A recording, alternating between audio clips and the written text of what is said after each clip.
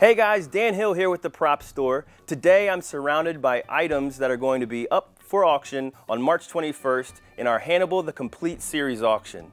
Today, all of these items in front of you are associated with Will's hallucinations. So let's take a closer look at some of the pieces. Here we have a silicone leg skin that's wrapped around a fiberglass body that Will hallucinates a hoof coming out of the, out of the leg. Here is a leather electric chair suspension device that goes over Will's face like this. We have a signed letter from Hannibal Lecter with a signature right here that states that Will is not crazy.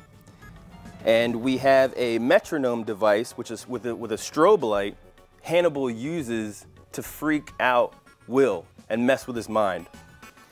Here, Hannibal asks Will in a scene to draw a, a plain, simple clock. And this is what comes out because his head is so screwed up. One of the key pieces in this auction is the Wendigo bust. It's a hollow fiberglass body and it's used in a scene where Will is hallucinating the Wendigo rising from a river.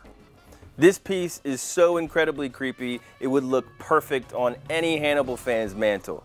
Now this is just a little taste of what we have to offer in the auction. We have over 1,200 pieces going under the hammer on March 21st. Please visit propstore.com slash auction and register.